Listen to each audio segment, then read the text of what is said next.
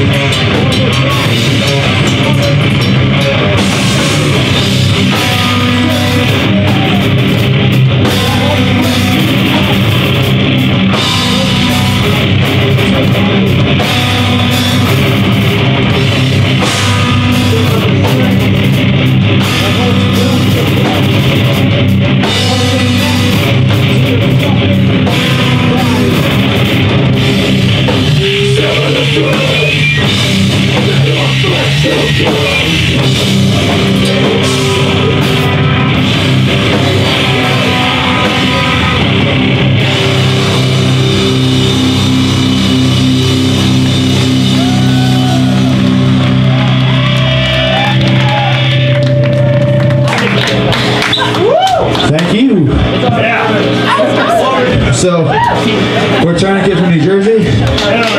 Potatoes Band. It's really cool that after being a band for such a short amount of time, we can come to Louisiana and have people even watch us. And this is probably the only sincere thing I will say all tour. I want to thank Bert uh, because he's probably the strongest man I've ever met.